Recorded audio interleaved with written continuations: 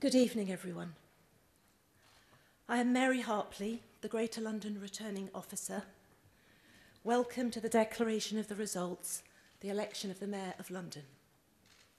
And I apologise for keeping you waiting. I do not have the candidates behind me on the stage, as is normal, but I am going to ask them to join us in the chamber now. I'm going to read the names and the order of the ballot paper as the candidates join us here.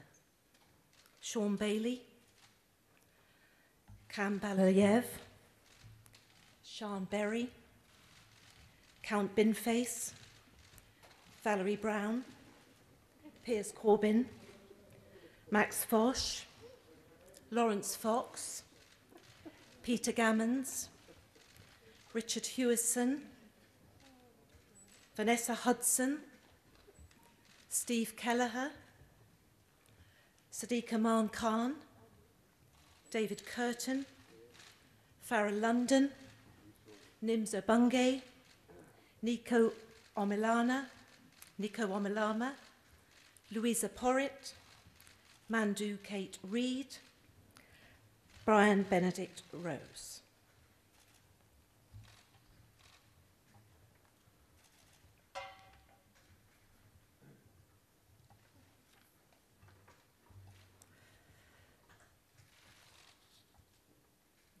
So, I am now able to declare the results of the election of the Mayor of London for the term 21 to 20, 2021 to 2024. I'm going to read the names of the candidates in the order they appeared on the ballot paper and announce the number of first preference votes they each received. Shaun Bailey, Conservative Party candidate, 893,051. Kam Balayev, Renew, 7,774. Sian Berry, Green Party, 197,976. Count Binface, Count Binface for Mayor of London, 24,775. Valerie Brown, the Burning Pink Party, 5,305. Piers Corbyn, Let London Live, 20,604. Max Fosh, Independent, 6,309. Laurence Fox, the Reclaim Party, 47,634. Peter John Gammons, UKIP, 14,393. Richard John Howard Hewison, Rejoin EU, 28,012. Vanessa Helen Hudson, Animal Welfare Party, People, Animals, Environment, 16,826. Steve Kelleher, Social Democratic Party, 8,764. Sadiq Aman Khan, Labour Party, 1,013,721. David Kurten, Heritage Party, 11,025. Farah London, Independent, 11,869. Nims Obunge, Independent, 9,682. Nico Omilana, Independent, 49,628. Luisa Manon Porritt, Liberal Democrats, 111,716. Mandu Kate Reid, Vote Women's Equality Party on Orange, 21,182. And Brian Benedict Rose, London Real Party, 31,111.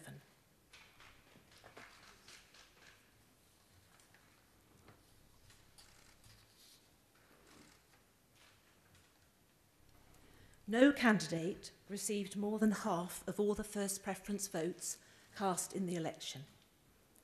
The two candidates who received the highest number of preference votes remain in the contest. They are Sadiq Aman Khan, and Shaun Bailey. I will now announce the number of second preference votes cast for each of these two candidates. Sadiq Aman Khan received 192,313 second preference votes. Added to his total first preference votes, this gives Sadiq Aman Khan a total of 1,206,034 votes. Shaun Bailey received 84,550 second preference votes.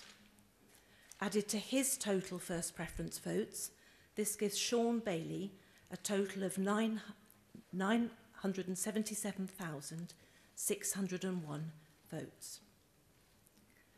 I therefore declare Sadiq Aman Khan elected as the Mayor of London.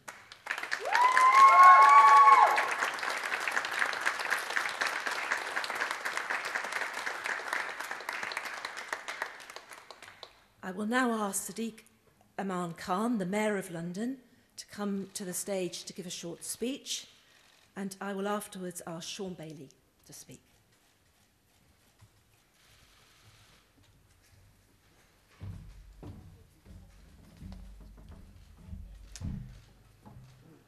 I want to say thank you from the bottom of my heart.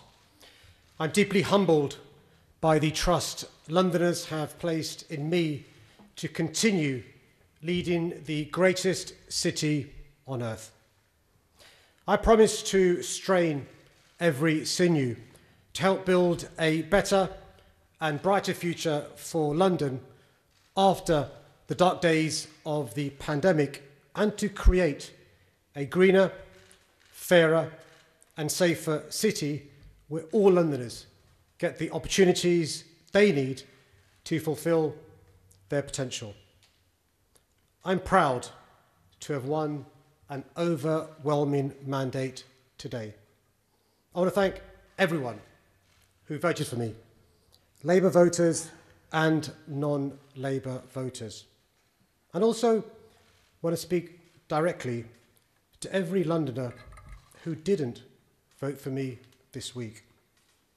I'll never ignore your voice, your concerns, or your worries. I'll always be a mayor for all Londoners, working to improve the lives of every single person in this city. The results of the elections around the UK show that our country and even our city remain deeply divided. The scars of Brexit are yet to heal. a crude culture war is pushing us further apart. There's a growing gap between our cities and towns, and economic inequality is getting worse, both within London and between different parts of our country. So as we now seek to confront the enormity of the challenge ahead, and as we endeavour to rebuild from this pandemic, we simply must use this moment of national recovery to heal those damaging divisions. I often talk about the different experiences I've lived during my life and how they've shaped my identity. I do so because these experiences have forged my cast iron belief that there's far more that unites us than divides us. I grew up on a council estate, a working class boy, a child of immigrants. But I'm now the Mayor of London. I'm a Londoner through and through. This city is in my blood. But I'm also a patriotic Englishman and a Brit who's proud to represent this nation's great capital. The experiences I've had through my life have shaped my belief that we all have a responsibility to do everything we can to build the bridges that bring us together rather than the walls that can only drive us further apart. This virus doesn't care whether you live in London or Liverpool, whether you're a Brexiteer or a Remainer, or what, what you think it means to be woke. We're only defeating it by acting together and by helping each other.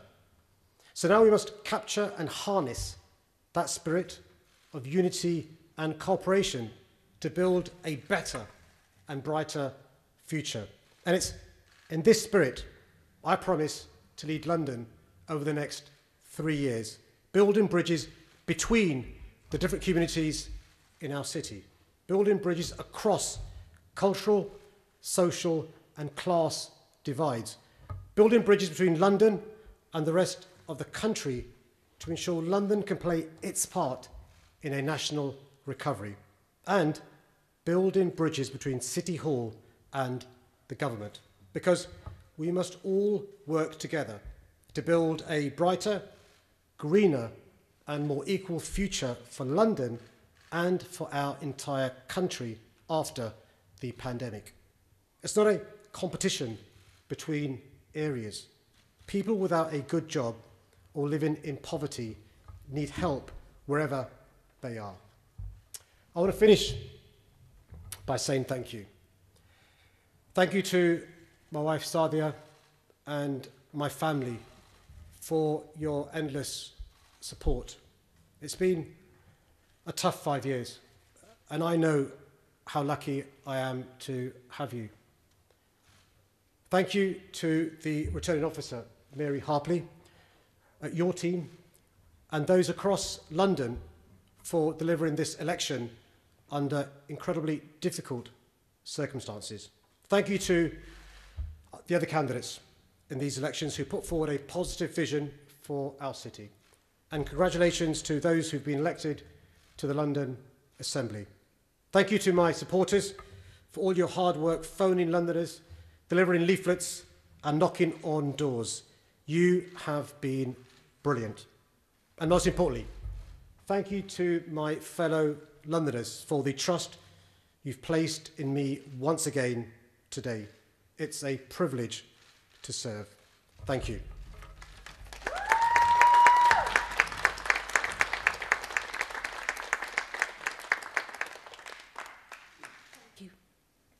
Shaun Bailey, would you like to come to the stage?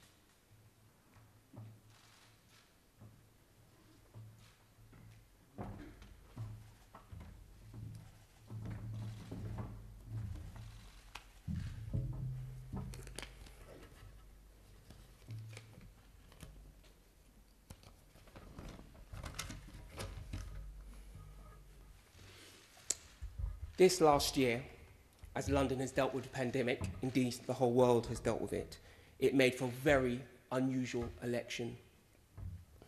Everyone here faced tough decisions, tough times, and of course, Londoners in particular had a very, very tough time. So I'd like to say congratulations to all the candidates for the campaigns that you ran. But as I went through these, for me, what was two years of campaigning, one feeling felt familiar to me, one challenge had always felt the same. And that's the feeling of being written off by pollsters, by journalists, by fellow politicians. But it's no surprise to me that Londoners didn't write me off. When you come from where I've come from and seen the things I've seen as a poor boy who's been homeless, who's been unemployed, who's been a youth worker in his city, you understand that London is a generous of spirit and will give you a hearing. I am proud that my campaign was able to shine a light on the things that many Londoners feel that they are unheard of, are being unheard on. I was glad to shine a light on safety, the fact that many Londoners can't afford a home and are being priced out of London by a relentless renewal of tax.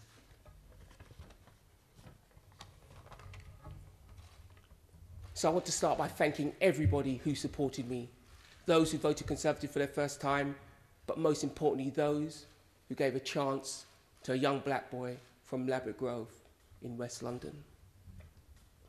I want to thank my hugely talented team who spent a long time reading very awful things about them, but they proved that they're a good team, outperformed such a young, vibrant, exciting team.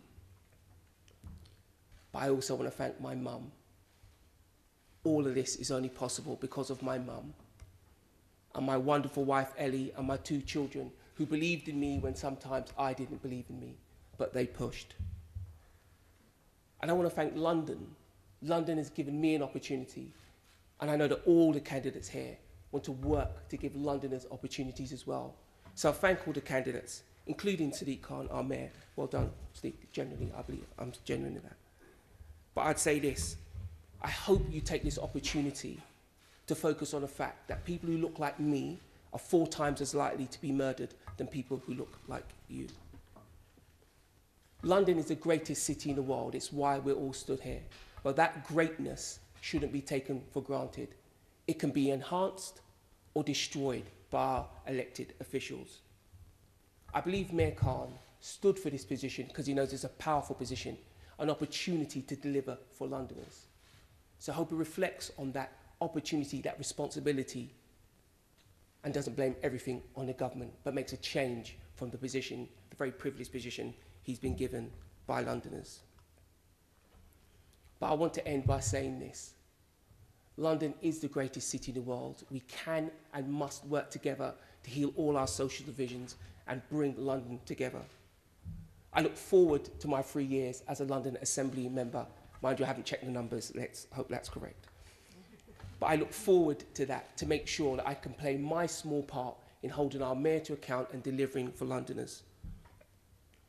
I want to thank everybody who made my opportunity to stand for Mayor of London in this great city, in this real time of need. I want to thank you all for giving me that chance. It's been a long road, but I've enjoyed every minute of it. London is great, we are great, and we will prosper here in London. Thank you. Thank you